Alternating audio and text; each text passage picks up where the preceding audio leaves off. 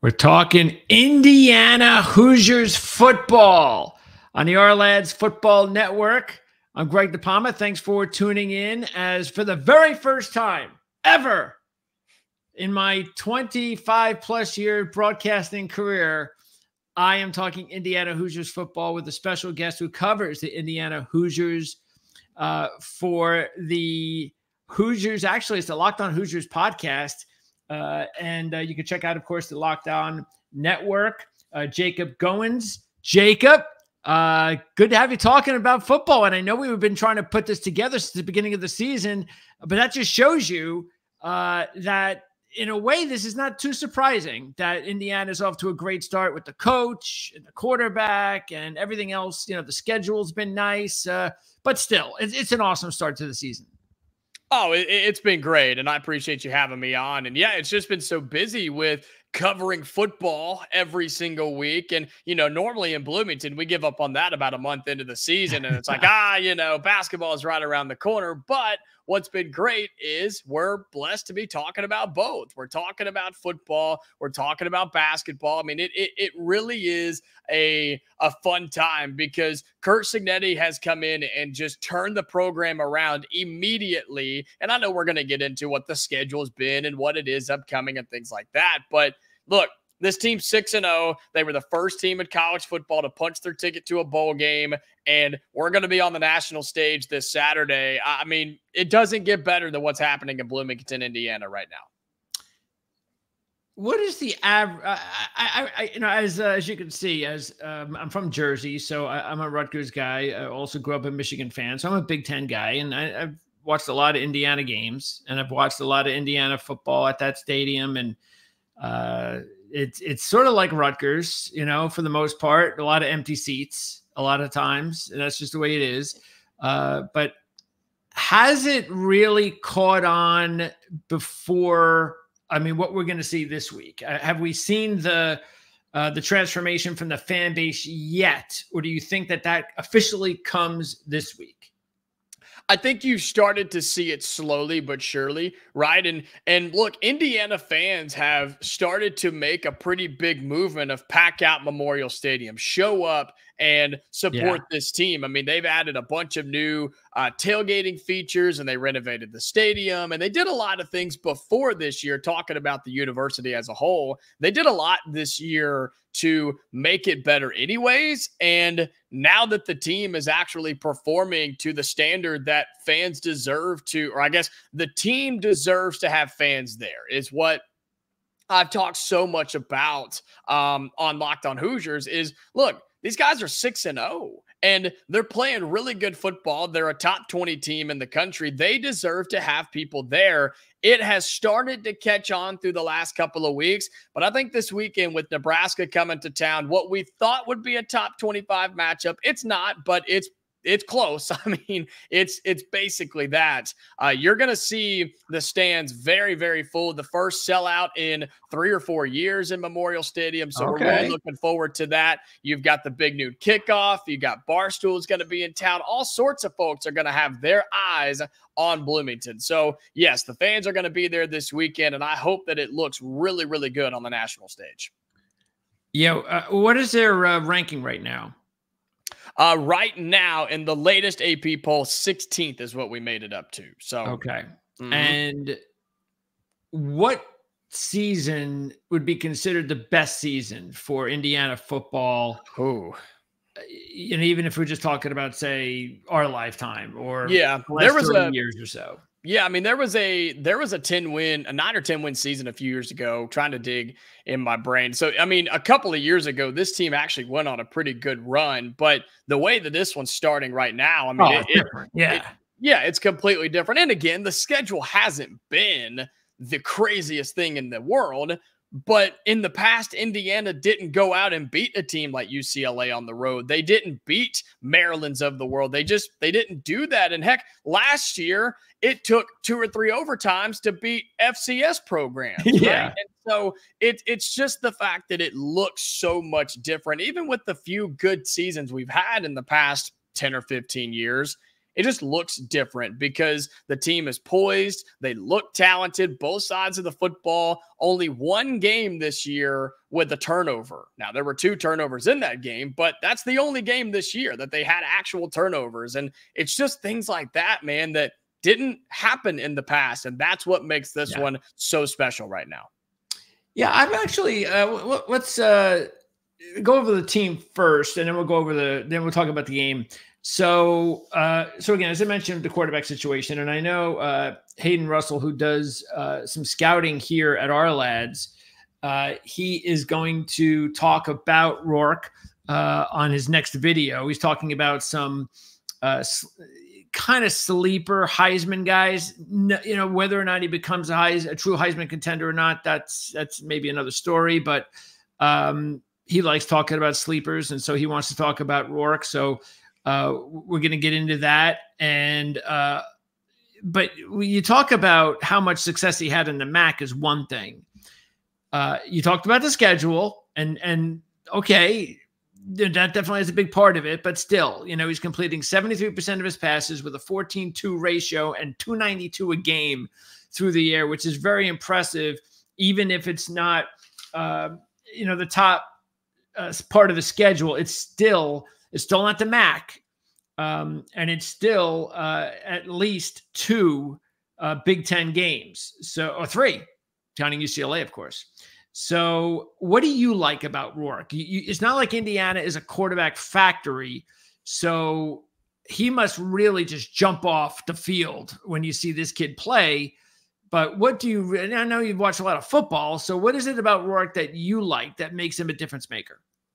He's just so cool and so calm and just he just nothing gets by him and nothing overwhelms him. Nothing gets him flustered. I mean he's just goes through the motions every single day in practice that we've seen and heard from and then every saturday that we've seen him on the field. It's just another day another game for Kurtis Rourke. He's out there balling doing his thing and he was a I don't want to say an unknown commodity in Ohio, but there weren't a ton of programs jumping on the guy. And Indiana and Curt Cignetti said, Come on with me. We'll take you. You're the best thing we got. And so that's exactly what Indiana did. And that's what jumps out to me is that he's just, he's just a calm, confident quarterback. He's extremely smart. He makes the right decisions. He's not going to blow you away with throwing it 70 yards down the field or throw it Patrick Mahomes style but he's going to make the right decisions. You mentioned a 14 to 2 ratio. Both of those picks were in the same game. Other than that,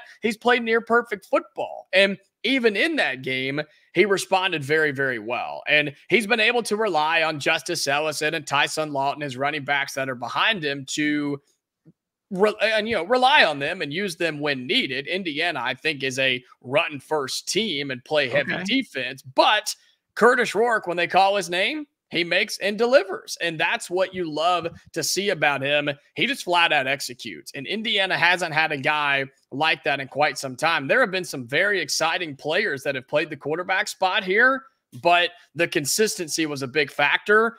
That is what Kurtis Rourke brings. You know what you're getting every Saturday. And through six games, he's bringing a lot of wins. So did they have to? Uh, I mean, I can't. I can't imagine. Maybe I'm wrong because I know the basketball program is is is uh, you know. I know there's no comparison, but as far as NIL, was there was Rourke like the main guy? Did they have to put up a little bit of money to get him, or like you said, I know he wasn't like the biggest name on the market, but still, I mean, I, I know at Rutgers we we'd sure love to have him. So, what is it about Indiana that uh, that worked out? Was it money? Was it uh, was it the coach? What was it? I think those everything that you just said is a combination. I think it was a fact of yes, Indiana's NIL situation has gotten better, uh, especially on the football side. I think you've seen, as I mentioned earlier, the university has done a really good job in investing in the football program. They just updated the practice facility coming into this season. So, brand new practice field, you know, covered and all that type of stuff. So, new facilities are working they were worked on and they're still being worked on here in Bloomington. Plus, yeah, I, I don't know the exact amount that Kurtis Rourke received, but I do think NIL played a part.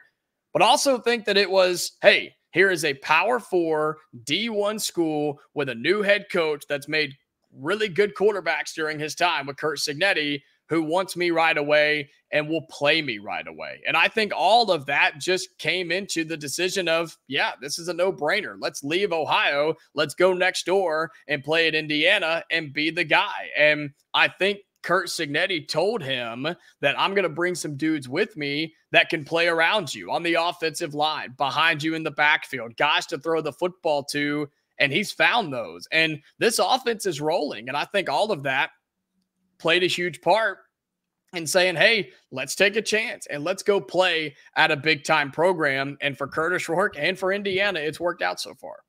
Yeah. There were still a lot of. Uh, a lot of uh, players that came back, and there were a lot of uh, players with starting experience. So it wasn't like, even though there was a change with with some some some talent and, in the coaching staff, it's not like a lot of these kids are young and like i said uh, you know there's they're, they're they're guys who need some experience. This is a team that's a lot more experienced than people think. And the team is a lot more experienced than people think. So talk about you mentioned the running game situation. You got a couple of seniors in ellison and lawton. Ellison seems to be the big big uh, dog statistically speaking. Uh, is that the case? Is he is it or is this a kind of a committee that you know a one-two punch I think it's a one two punch. I really do. I mean, yeah, Ellison's typically your go to guy, but you feel very comfortable with Lawton back there as well. And thankfully, we haven't dealt with a ton of injuries with that yet. But if something were to happen, you feel good with the other guy, I think is where Indiana stands. And so that's very rare to see in, in, college football, especially now with NIL and transfer portal. It's like, okay, if you're not number one, guys just jump ship and go find somewhere else. But um, in terms of of Ellison and and Lawton, I think it is a one-two punch. I think you feel good no matter who's got the football in their hands. And even if they don't have it in their hands, they know what to do, whether it be run blocking or going out for a, a, a pass or whether it's just running around or doing whatever the case may be that they're asked to do they execute extremely well. Same thing for the receivers. That's what makes this whole thing go so smoothly is everybody just does their job and it starts in that running back room with a one-two punch of those guys. Yeah, and a lot of people thought that Black uh, uh, was going to be uh, potent- I mean, he was going to be in that mix. Not saying he's not, uh, but he hasn't produced like the other guys. Uh, James Madison transfer, but Sarratt the receiver from James Madison has taken the bull by the horns and been a big part of the passing game. Um, and, and, again, this is what I love about the transfer portal. Everything of what you see here at Indiana is what I think is great about the transfer portal because two or three years ago, this is not happening. Even if Cignetti gets the job, it's still not happening. He had he's not bringing all these guys over. He can't. Or, or if he brings them over, they're gonna have to wait. Right. Uh, so it's just not happening. So the, the ability to, to, to not only bring the coach over, but the coach to bring some of his players over, boy, that a combination um, really has been a boost. So talk about Sarratt uh, because both Sarratt and Cooper, by the way, I mean, not only are, are, are they producing, but they're producing with a really high uh, downfield average. So th- these aren't guys that are averaging 12 or 13 a catch. They're averaging like between 17 and 20 a catch. Yeah, big play guys is what they are. And Indiana doesn't take a ton of shots, but when they do, those two guys hear their name and numbers called. And Sarratt has been the go-to guy. I think he's got what, like 150 yards more, give or take, on on the year. And he's the go-to, but you feel good with Cooper as well. Same way we just talked about Ellison and Lawton. It's kind of the same way. Whichever guy you call upon, it's like, hey, I'm going to put it in a spot. Rourke has proven this. I'm going to put it in a spot where you can make a play and go make it. And more times than not, they do. Very, very few miscommunications with Rourke and the receivers, very few mistakes in route running and and not knowing the play. And and look, all of those things happen just about everywhere in college football, especially with transfers or young guys or a new combination of quarterback, receiver, running back, offensive line. I mean, those are just things that happen every single season at a new program. And I don't know how. I have no idea. I guess credit to the guys and the coaching staff, but Indiana just has very few of those mental breakdowns, lack of communication, just pure mistakes. And I think it's to what you spoke to earlier. There's a lot of seasoned dudes that have played a lot of college football. And when you get a lot of those guys in the same room, even if it hasn't been together, they just click automatically. And I think that's what's happening with Rourke, his receivers like Sarratt, and the guys behind him like Ellison and Lawton. And it's working out very, very well for Indiana, who is one of the highest scoring offenses in the Big Ten. Yeah, I mean, overall in the nation, they're fourth in total offense, second in scoring at 47.5. Defense, which we'll get into uh, just a bit, is also producing. Who would have thought that at Indiana? But then again, I mean, Allen was a defensive guy, but sixth overall on defense, 11th in scoring, and sixth against the rush. So uh, it, it's not just uh, six and zero oh and a quarterback; it's everything: uh, offense, defense. Uh, couple of guys also before we move over to the defense that uh, are not statistically having big years, but McCulley, um, what's up there? Is that is is that just a surprise? It's just there are guys now that have just in the pecking order have taken over, and that's why he's not producing statistically like he did last year. And then Horton, the tight uh, the tight end, also a transfer coming over. Um, he's a guy that is not. I know he's a first team SBC, but I'm I'm I'm imagining he's first team SBC because he's more of a well rounded tight end. It really just comes down to there's only so many plays in a game, right? I mean, there's only so yeah. many, there's only so much time. And two, think about this college football now with the new clock rules and everything, teams are averaging less possessions per game this year than we've seen in decades because of all the running clock and, and just averaging less possessions. And so there are less plays. And I, I think that has a lot to do with it. I really, really do, because those are talented guys. But when you have people in front of them that are producing, why do you go away from them? And I don't think it was a strategy of, hey, let's not get them the football. But early on through six games, Cignetti and this entire staff, they said, Hey, we've got this guy, we have this guy, and we know they're going to produce and do these things that we asked them to do. And so far it's worked. And so there are guys you could say that on the defensive side too, what we thought were going to be good and or have more of an impact. I'm not going to say they're not good, but at least sure. have more of an impact. And that just hasn't been the case. Now, could that come back to bite us if, again, Hopefully not. But if somebody gets injured or yeah. if teams figure out how to defend certain guys, yeah, it absolutely could. But I think for now, it's the system's not broken. So we're not going to fix it until I guess we absolutely have to. Okay, so uh, one more, and that's the offensive line. Uh, you can't produce this uh, well offensively if the offensive line is not uh, doing their job. Um, is there is there a particular standout on the line, or are they pretty much just doing it, uh, you know, as a group? As a group, honestly, I mean, and I know that's the easier answer, but it really is true because the run blocking has been so, so good when needed. But the biggest thing is Kurtis Rourke has time. We've seen for years and years and years and years here in Bloomington pretty good quarterbacks have come through here. They just get sacked like crazy. They have no time. They're running for their lives. They just don't have time to do anything. And that's part of the reason, as you were asking me about Kurtis Rourke, why he is so calm and just so composed in the pocket. He has no stress. He has no worry on him. Nobody's getting to him. And I mean, he's been sacked a handful of times, but he's been able to do whatever he wants back there. And it's across the board center, guards, tackles. They do exactly what they do. And I mentioned the running backs earlier blocking as well. When they're called upon, everybody's on a string, everybody works together. There's been a little injury problems in there here and there, but okay. even the guys that have stepped into it, has been flawless. And so Kurtis Rourke, I hope he, uh, I hope he's giving those guys a watch or something for Christmas because they've done a phenomenal job for him this year. Okay, now on defense, uh, cor- correct me if I'm wrong. There are five JMU uh, uh, all accolade performers that came over. Are all correct, five yeah. of them contributing? Uh, for the most part, I'd have to double check and look into exact, you know, snap counts and stuff. But for sure. the most part, yes, yeah. Okay.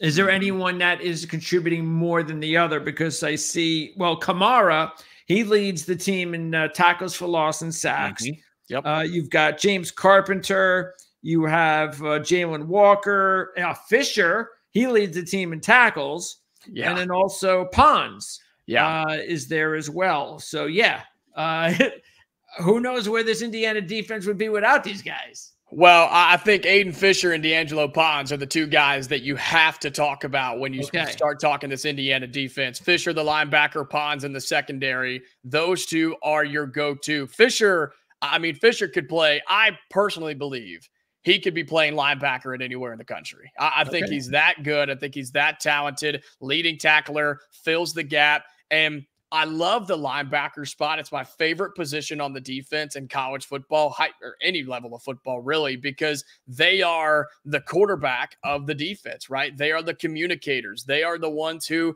make the plays and, and call the plays and make the checks. And for most college teams, and Aiden Fisher is in this boat as well, I believe, he's the one that wears the green dot on the back of his helmet, right, for the communication on defense. And so that is a huge factor because the coaches are talking to him, right? He's making the different changes and things like that. And so I love Aiden Fisher and then D'Angelo Ponds started a little slower this year, but has gotten back to true form. And and people are afraid to throw his way because he's just that dangerous. So between uh, Aiden Fisher, linebacker, and D'Angelo Ponds in, in terms of your corner. I mean, you've got those two layers covered. Been up shifting around of the defensive line a little bit, but overall, it's been effective enough.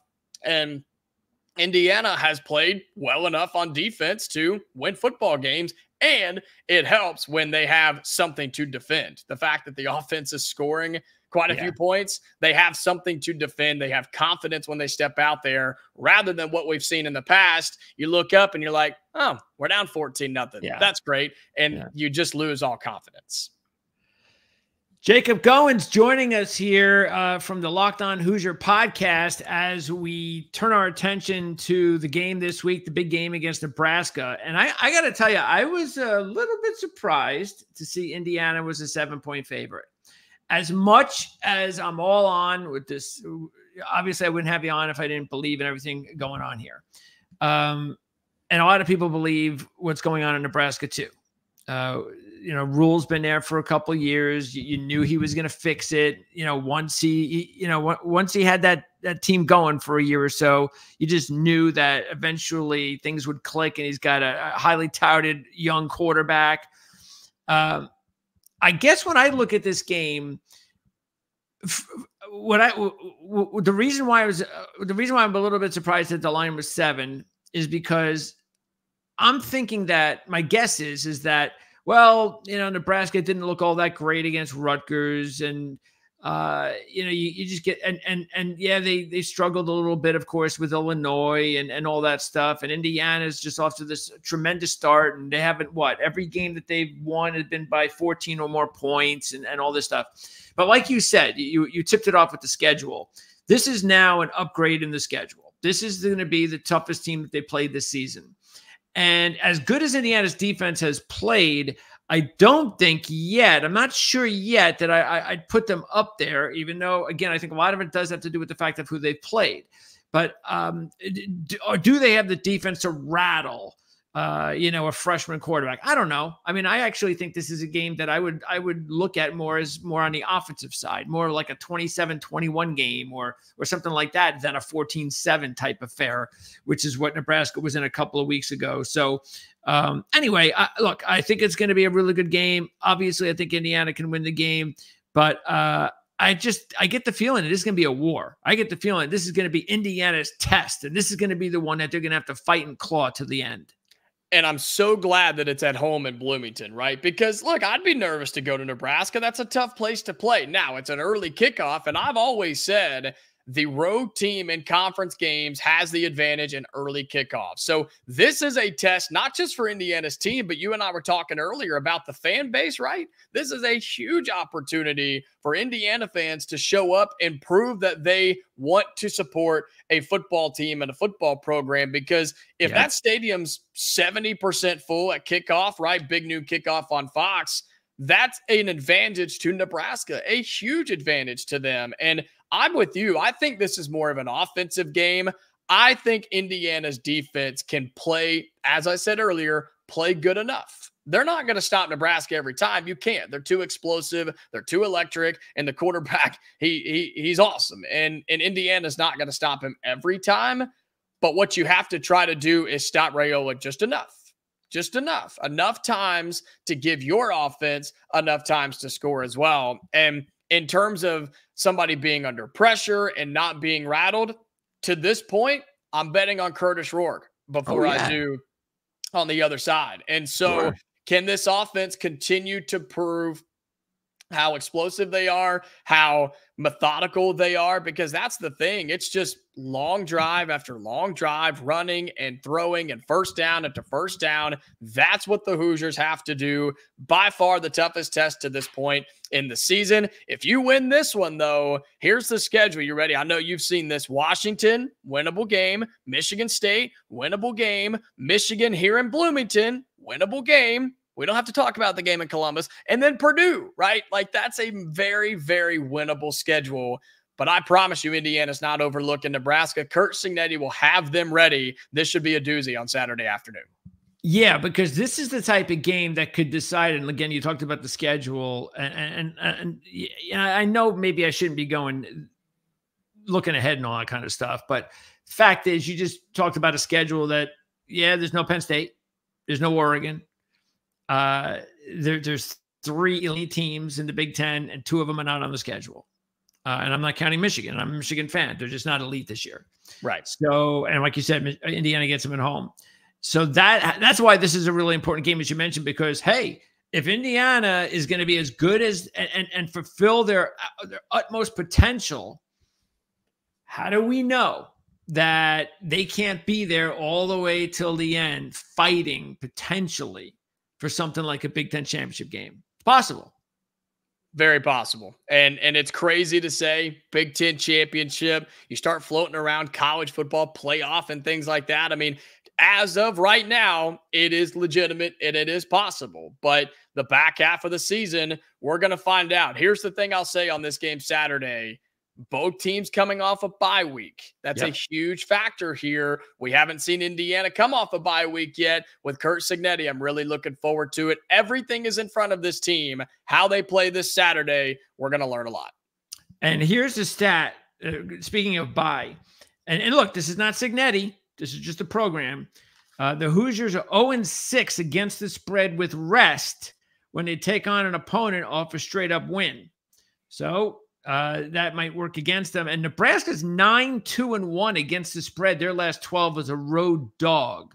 So this is a that? good spot uh, for Nebraska. Look, I like Nebraska in the points, uh, but I, I, I still kind of feel that Indiana is just a little bit better right now. And the reason I believe that, I think Nebraska's got a, I think Nebraska's got a little bit kind of different defense, very physical defense and and I'm I don't know, I might side with Nebraska's defense, but the big difference here is as good as the both quarterbacks are, huge difference. You got a senior quarterback against two freshmen. That yep. is a huge difference in a big game down at the wire.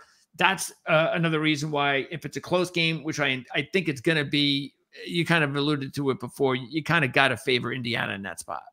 I do, and I'm I'm with you. I think Nebraska keeps it close, but Indiana, I just think as a more disciplined, better coached team, I'm going to take the Hoosiers to win this game. It's going to be back and forth, and if again, if we win, everything's in front of us. The schedule lays out for things to happen in Bloomington. I'm really excited about what Saturday could hold, as everybody will be watching Indiana and Nebraska.